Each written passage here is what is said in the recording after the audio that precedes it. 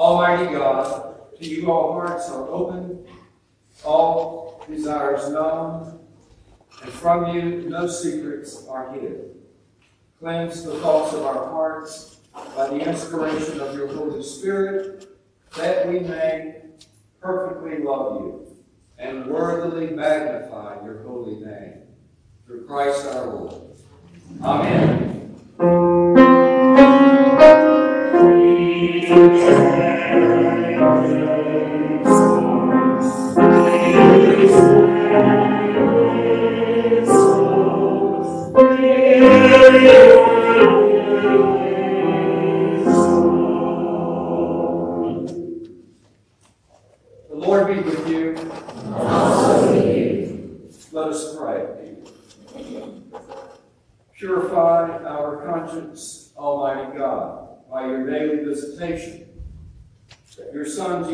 Christ, in his coming, may find in us a mansion prepared for himself, who lives and reigns with you in the unity of the Holy Spirit, one God, now and forever.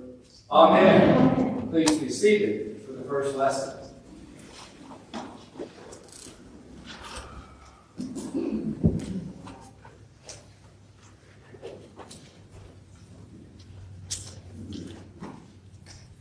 A reading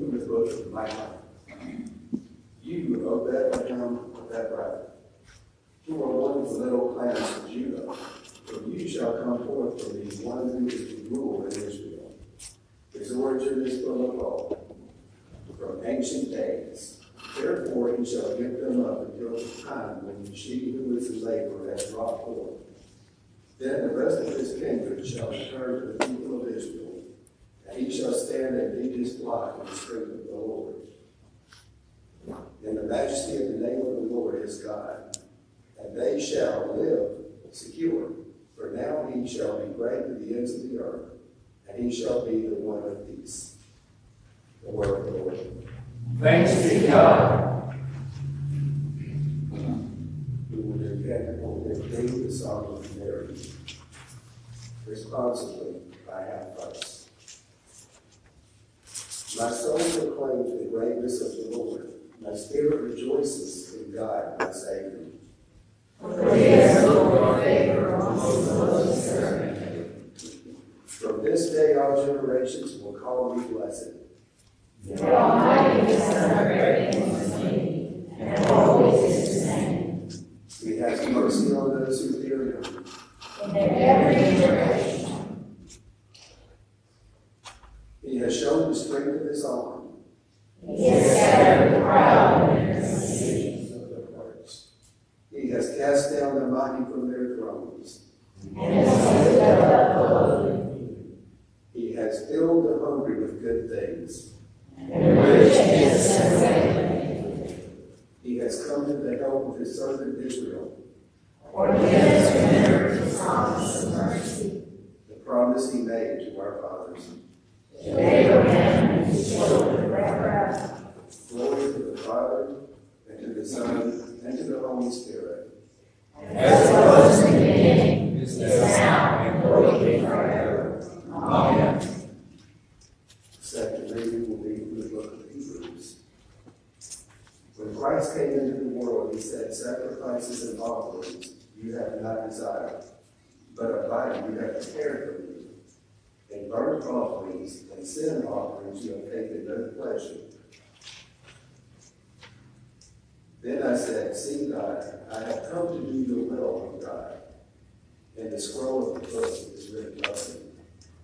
For he said above, You have neither desired nor taken pleasure in sacrifices and offerings and burnt offerings and sin offerings. These are offered according to the law. Then he added, See, I have come to do your will. He abolishes the first in order to establish the second.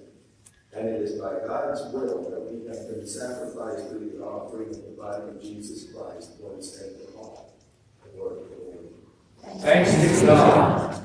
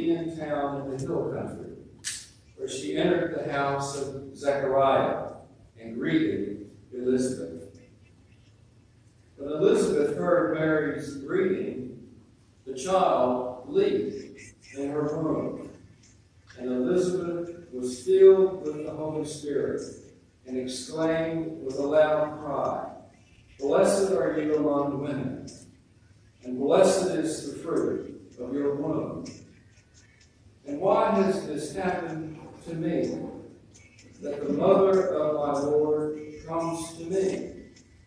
For as soon as I heard the sound of your greeting, the child in my womb leaped for joy. And blessed is she who believed that there would be a fulfillment of what was spoken to her by the Lord. And Mary said, My soul magnifies the Lord, and my spirit rejoices in God my Savior, for he has looked with favor on the lowliness of his servant. Surely from now on, all generations will call me blessed. For the mighty one has done great things for me, and holy is his name. His mercy is for those who fear him from generation to generation. He has shown strength with his arm. He has scattered the proud in the thoughts of their hearts. He has brought down the powerful from their thrones and lifted up the lowly. He has filled the hungry with good things and sent the rich away empty.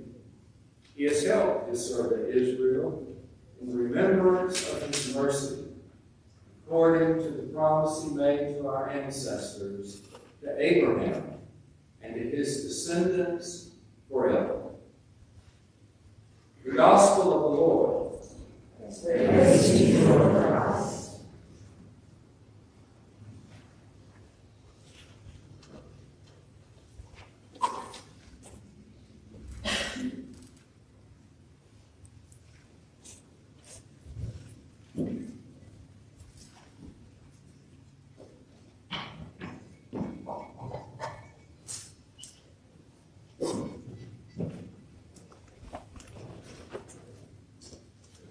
In the name of one God, Father, Son, and Holy Spirit. Amen.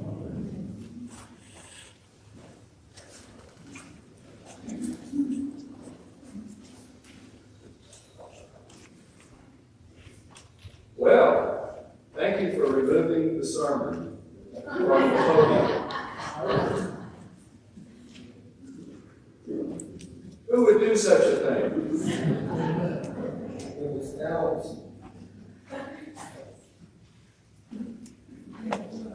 I'm serious. I put it here. This is the first time that has happened in 14 years.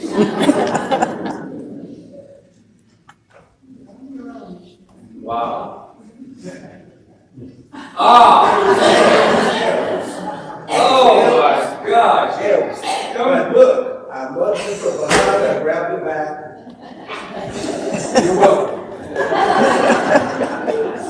Oh, I knew that there was a, a good explanation. There he is. No. Oh my It's too goodness. funny. I, I know what some of you are thinking. Ju- Just, just relinquish all of that and, and, uh, and do a children's song. Thank. Just tell them do that. Right. And her poem, Mosaic of the Nativity. The poet Jane Kenyon writes, God thinks Mary into being, suspended at the apogee of the golden dome. She curls in a brown pod, and inside her the mind of Christ, cloaked in blood, watches and begins to grow. The angel Gabriel leaves, and Mary runs with haste. A newly pregnant teenager makes for the hills, not slowing down until she reaches the home of her cousin, Elizabeth, also pregnant. When Elizabeth welcomes her, she bursts into song. I love this gospel story. I cherish it because it is one of the few narratives in the Bible that is female centered. Elizabeth's husband, Zechariah, is there, but he is literally silenced throughout. We should all resonate with the story deeply because its setting is domestic, intimate, and earthy. But most of all, it allows us to view Mary, the mother of Jesus, as a whole human being. To view Mary in the language of Nadia Weber without sentimentality or cynicism. For many, even today, Mary is a model of holy femininity. She is forever sinless, forever a virgin, and forever a mother. With a real Mary please stand up? Well, I think she has. You see, I think that Luke's account of the visitation gives us a portrait of Mary that cuts through most of our assumptions and stereotypes. It is a nuanced portrait that balances fear with courage, doubt with faith, vulnerability with strength. And along the way, it gives to us a portrait of ourselves, of what we, the church, might become at our very best. I offer you, therefore, three gifts that I believe the visitation story offers to us on this fourth Sunday in Advent. First, this story of the visitation offers us the gift of community. As soon as Mary says yes to Gabriel's astonishing request, she goes in haste to visit her cousin Elizabeth. She doesn't isolate herself. She doesn't keep God's secret to herself. She doesn't attempt to go solo. She realizes she can't do it alone. And so she seeks out a fellow traveler, a companion on the way, Elizabeth. It's easy to imagine why a young girl with a crazy sounding story like this one would make such an urgent journey. You all know that in Mary's culture, first century, her culture and her religion puts her at odds with all authority. Her pregnancy is an absolute scandal. At best, it renders her an object of scornful gossip and rejection. At worst, it places her at risk of death by stoning, according to the law. Needless to say, Mary needs safety, affirmation, empathy, companionship, a safe environment. She needs a sanctuary. She needs someone to recognize, nurture, and deepen the work of God in her life. She needs someone who will receive, not reject. Someone who will love, not judge. Someone who will nourish, not condemn. Is there a better job description for the church? I think not. A better job description for Redeemer? I can't think of one. What would it be like if we saw each other out? With the trust and openness of Mary, her utter transparency with Elizabeth, her cousin?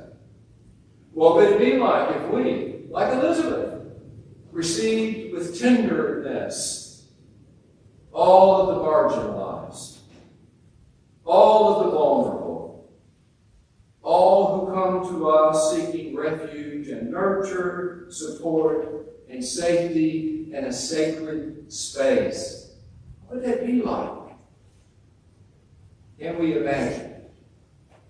We have glimpses from time to time, and we celebrate when that happens. Mary and Elizabeth, the young girl and the old woman, the unmarried and the married, the socially established and the socially vulnerable, finding common ground in their love for God.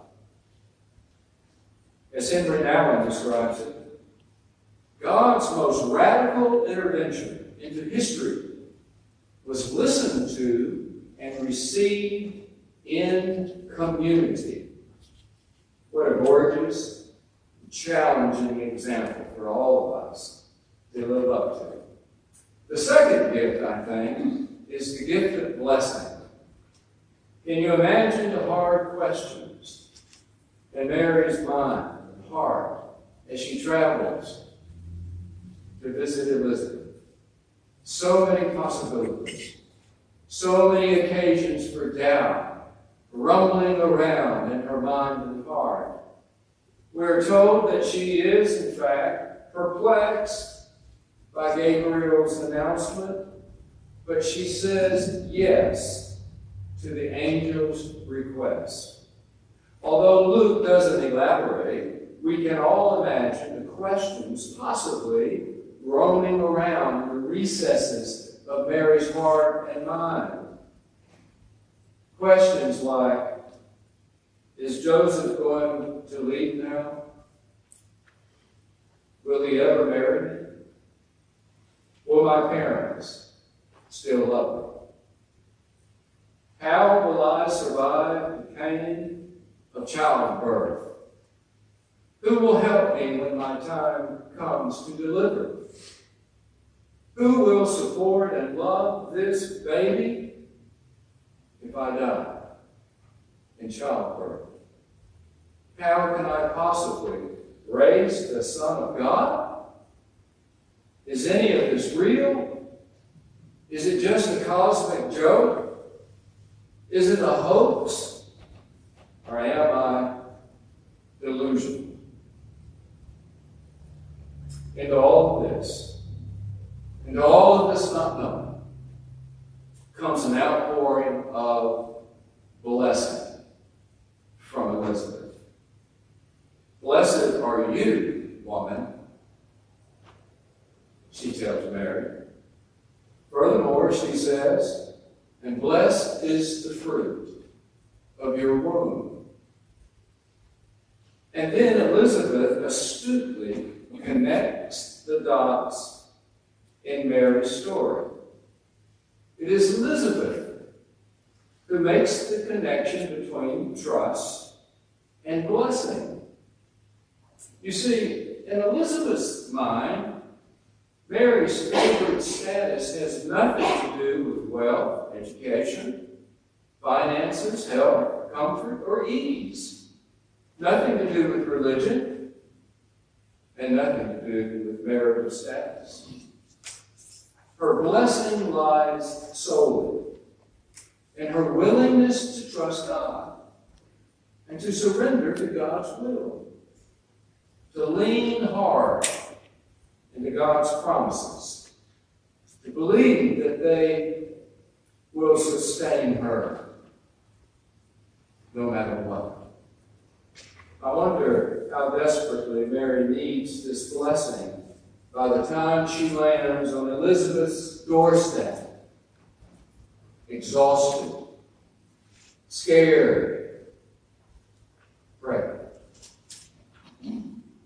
How badly she needs someone to remind her that even after the angels leave, after the light fades, and after the vision recedes, God's faithfulness remains. She needed a hug. She didn't need a lot of words. She needed to feel the affirmation that Elizabeth extended to her in the form of a blessing. And you know what? My guess is Mary carries Elizabeth's blessing in her heart for the rest of her life. And she will need it. After all, being the mother of Jesus is not easy. It leads her straight from scandal to danger to trauma to devastation. She delivers her baby in a stinky, smelly, nasty barn alongside farm animals, working animals. When she becomes a refugee, she flees to a foreign country, Egypt, to prevent her son's murder. What does that blessing feel like? When Jesus is all grown up and he is arrested, beaten, mocked, and executed like a common criminal. Elizabeth recognizes and affirms that Mary's faith is precious.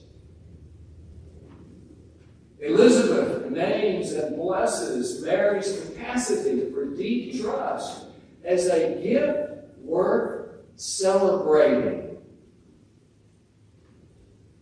What would it be like to recover Elizabeth's vocation of blessing? What would that be like for you and for our community?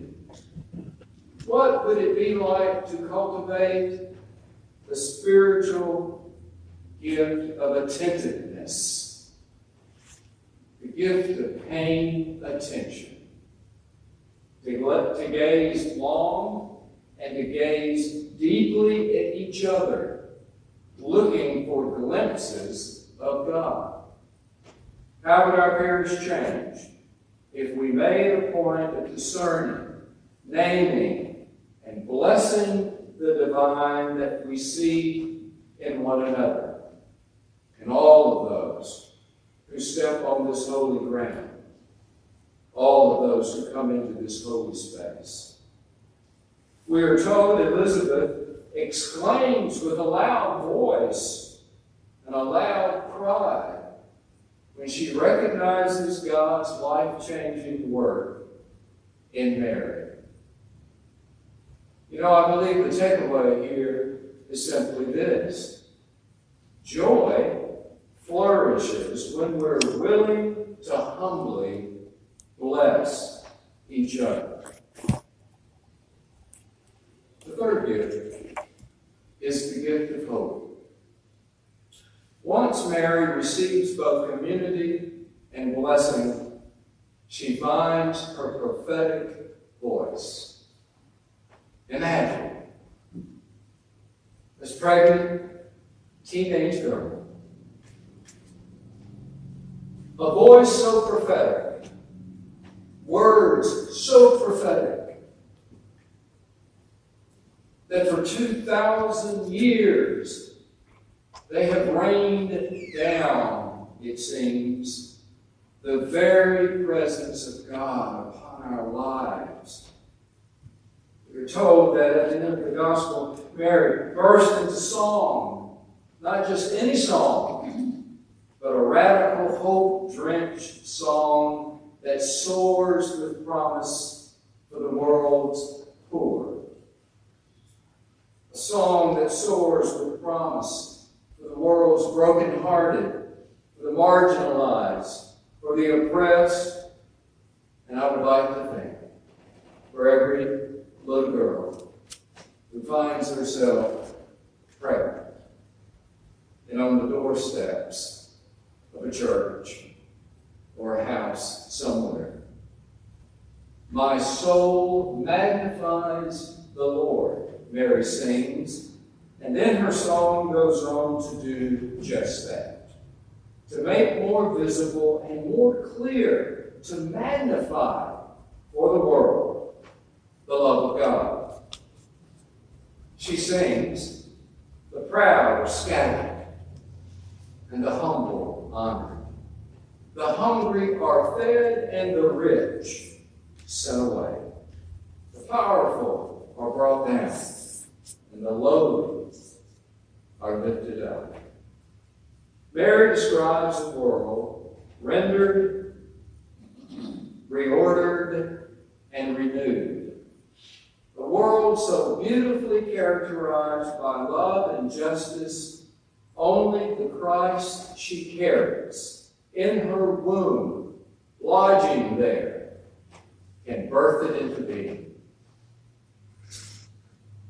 What does your Magnificat sound like? How is God magnified through your life? How is God magnified through our parish life together? What words have you found to express the radical, revolutionary hope of the Messiah you carry? As we come to the end of this Advent season, may Mary's word encourage us to receive and to share the gifts of community, blessing, and hope. The Messiah is coming. So make haste. Be blessed. Magnify the Lord. Amen.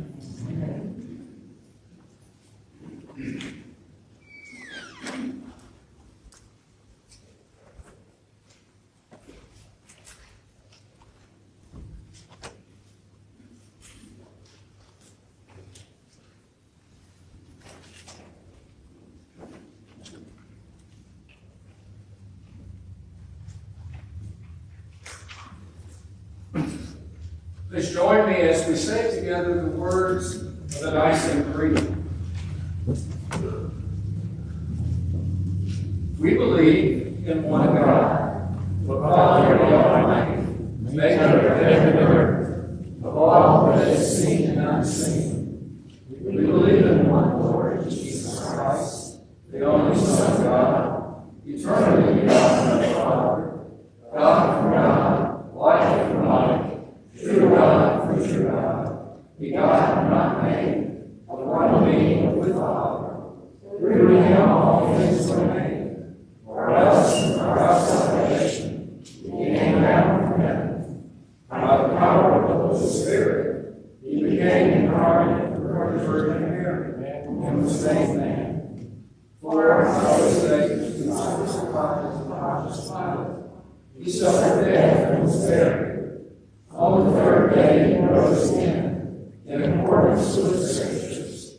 He ascended into heaven, and is seated at the right hand of the Father. He will come again in glory to judge the living and the dead, and his kingdom will never end. We believe in the Holy Spirit, the Lord, giver of life, who proceeds from the Father and Son. With the Father Son, and glorified. He has spoken through the prophets.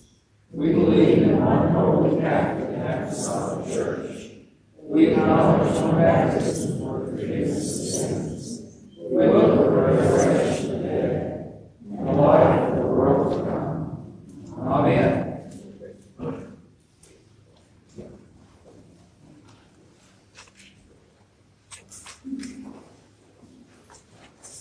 The prayers of the people are form five, and they are in the insert bulletin. In peace, let us pray to the Lord, have mercy. For the holy church of God, that it may be filled with truth and love, and be found without fault at the day of your coming. We pray to you, Lord. Lord, have mercy.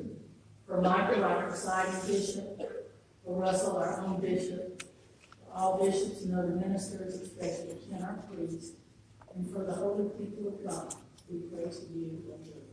Lord, have mercy.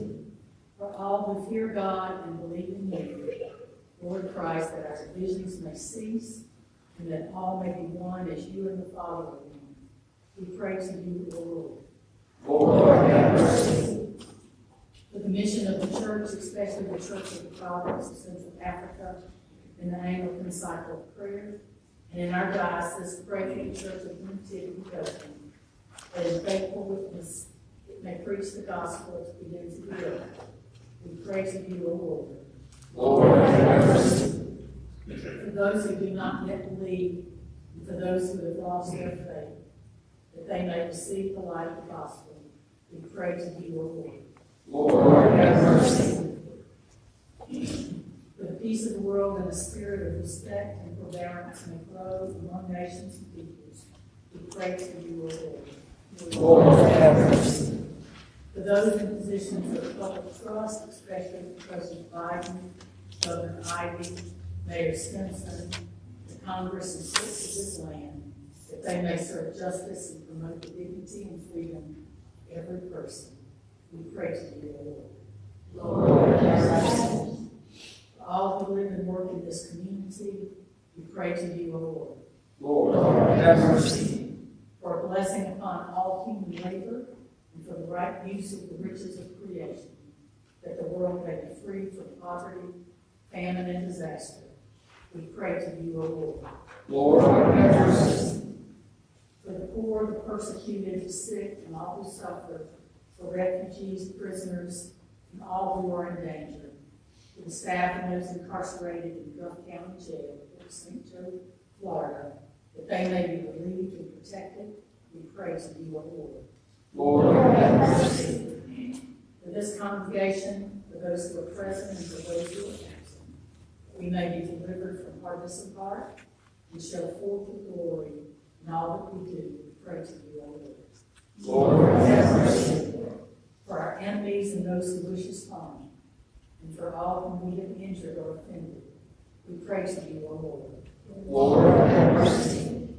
For ourselves, for forgiveness of our sins, for the grace of the Holy Spirit to amend our lives, we pray to you, O Lord. Lord, have mercy.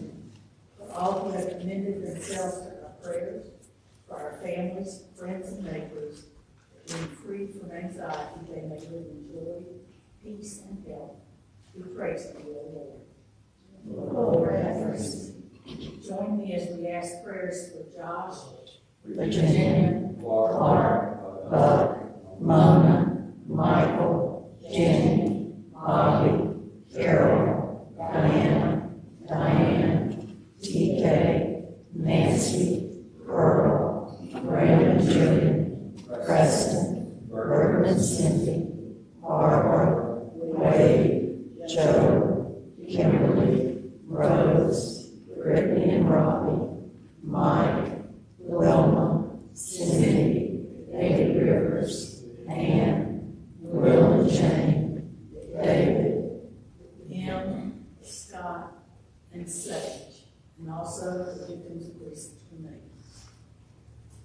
celebrating birthdays, Joseph Conker, Henry Taylor. For those celebrating anniversaries, And Nancy Ellen Copeland and Jordan Mercados.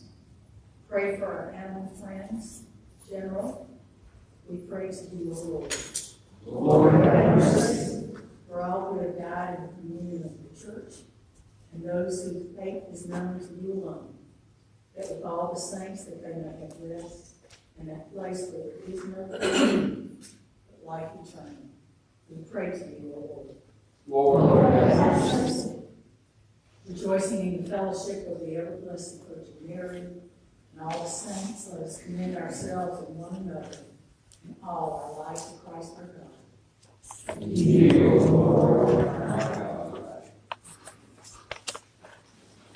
O Lord our God, accept the fervent prayers of your people. In the multitude of your mercies, look with compassion upon us and all who turn to you for help. For you are gracious, O lover of souls. To you we give glory, Father, Son, and Holy Spirit, now and forever. Amen. Let us confess our sins against God and our neighbor.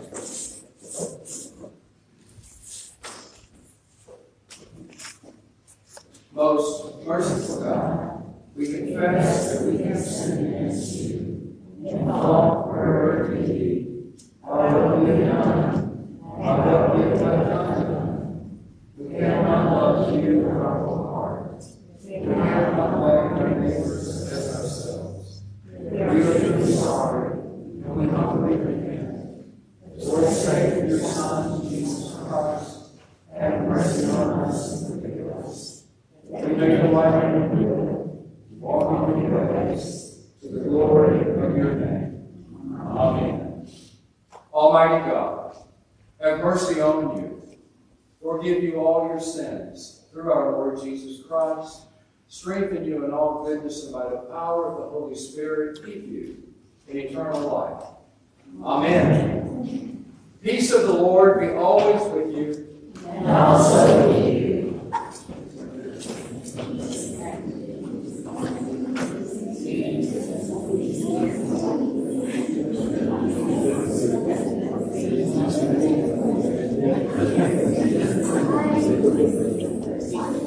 Peace be with you.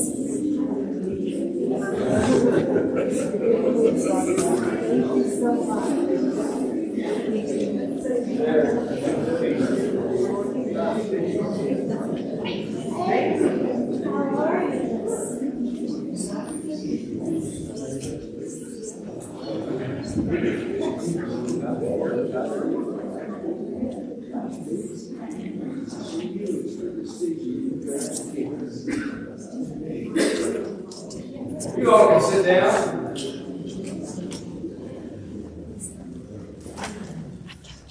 So good to see you. We are living in perplexing times. If you- if you're troubled by where we are with the pandemic, uh, take a deep breath and think about what Mary went through. And, uh, and, you know, remember that, uh, the good Lord has promised never to leave us or forsake us, and to always be with us. I know you have concerns, many, many people do. This is a public service announcement, okay? I hope you are reading and studying and paying close attention to the science and not which Broadway show has been shut down in Manhattan. The fact of the matter is, get all three of your shots. All three of your shots. And um, I think we're just about all there. But if you haven't gotten that booster, I sure recommend that you do that. And uh, I think you will have some self-confidence, and I think also you have a deeper guard of- about this disease and about your vulnerabilities. So Please do that if you haven't already. Well, uh, Christmas Eve, um, this coming Friday, five o'clock, I am calling it a family intergenerational uh, Eucharist because that's quite frankly the kind of church we have. And uh, our size lends itself to doing things together with children, young people, and adults. There will be, finally, your children's sermon. There will not be a manuscript. And, uh, and I can tell you that the hardest sermon I preach is a children's sermon. But that will be on uh, Christmas Eve. So, 5 o'clock, and uh, I hope that all of you will be here. It gives you and allows you time to go home, to be with friends. And after you leave here and get settled in with your family and neighbors, you can get into the eggnog. and invite me. Oh. After the new year, as long as we can stay healthy and move forward, the, the children's sermon will become a, a regular part of our worship experience. And uh, it's something that's always been uh, a, a mainline kind of uh, part of the liturgy for me. And so we'll be including our children in a more pointed and uh, experiential way on Sunday mornings. So we'll do that after the New Year, but we'll get a glimpse of that on Christmas Eve. Uh, speaking of our young people, we have a new acolyte, and uh, Brooklyn is um, right there, and uh, she has she has been uh, looking forward to this. And so after church today, give her give her a hug, give her a blessing, okay? And uh, thank you, Brooklyn, so much, so much. She and other children will be involved with us on Christmas Eve. So, uh, that is an invitation for you uh, to bring neighbors, to bring your grandchildren, and uh, to do those kinds of things. All of welcome. All welcome. Isn't it wonderful to gather around this table? It's like the table in my house in the kitchen when I was growing up. You know, that's where we did our homework. That's where we had our meals. That's where we did projects. That's where I made Halloween costumes. At the kitchen table. It was really the heart of our home. It's where the neighborhood boys and girls gathered for refreshment. There was no TV in that room. It was the table. And it was a gathering place. So it is. Every Sunday, our good Lord invites us to gather around His table, no matter who you are, regardless of where you are in your spiritual journey, there is a place here for you at this table. And I delight in that. I hope you do as well.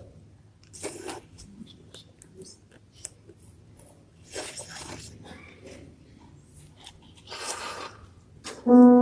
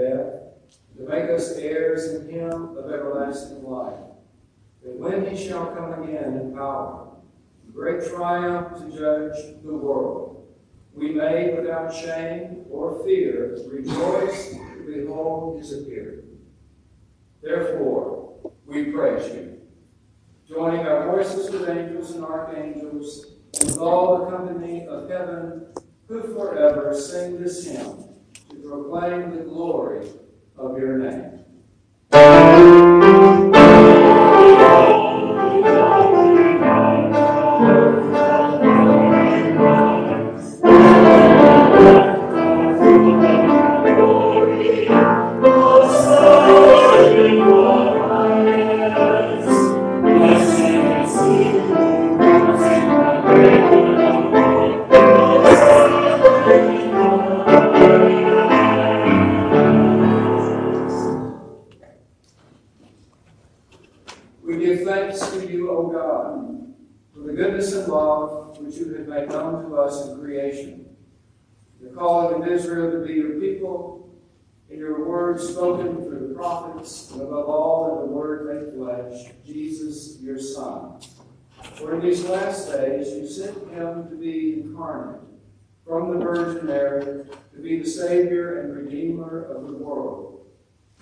You have delivered us from evil made us worthy to stand before you. In him you have brought us out of error into truth, out of sin into righteousness, out of death into life. On the night before he died for us, our Lord Jesus Christ took bread, and when he had given thanks to you, he broke it and gave it to his disciples and said, Take, eat. This is my body which is given for you. Do this for the remembrance of me.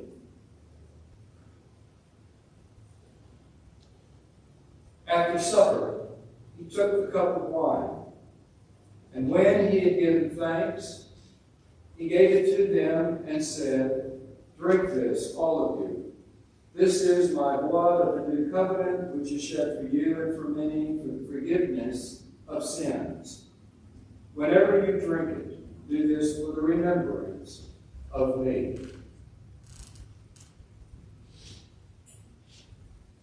Therefore, according to his command, O Father, we remember his death, we proclaim his resurrection, we await his coming in glory.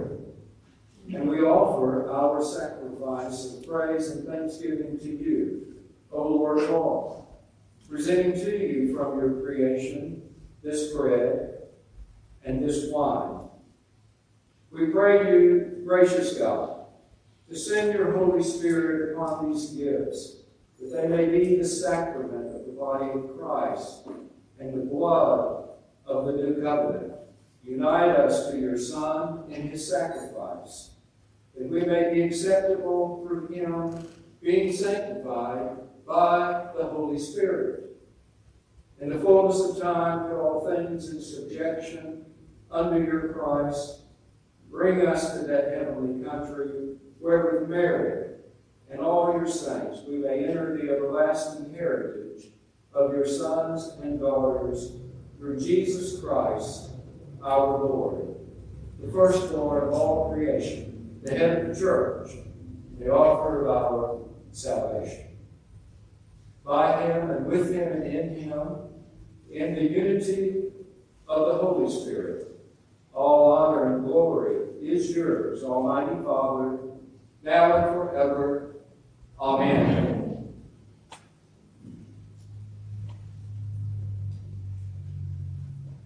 And now, as our Savior Christ has taught us, we are bold to say, Our Father, who art in heaven, hallowed be thy name. Thy kingdom come, thy will be done, on earth as it is in heaven.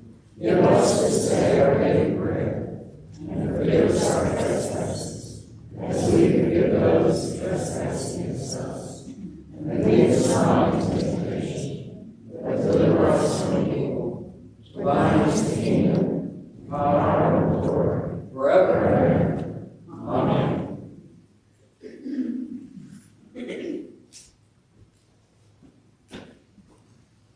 Alleluia, Christ our Passover is sacrificed for us. Therefore, let us keep the feast. Hallelujah. Dear friends, these are the gifts of God for the people of God. Take them in remembrance. Christ died for you. Feed on him in your hearts by faith and with thanksgiving.